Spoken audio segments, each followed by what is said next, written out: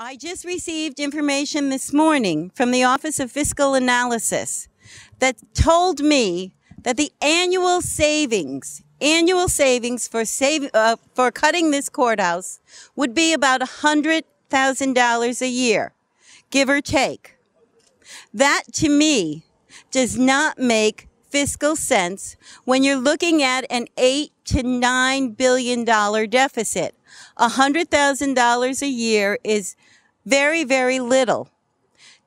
Now, the economic impact that that cut would have on this wonderful small city of Derby would be probably 10 times that amount.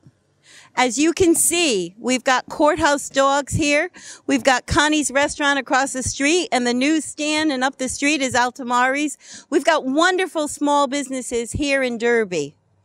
They would be threatened by this cut. The courthouse does over 11,000 cases a month. Other courts cannot absorb this. We are asking, we are begging that this courthouse please stay open. And as you can see, we've got more than enough support, and there are obviously a lot of people that agree with us.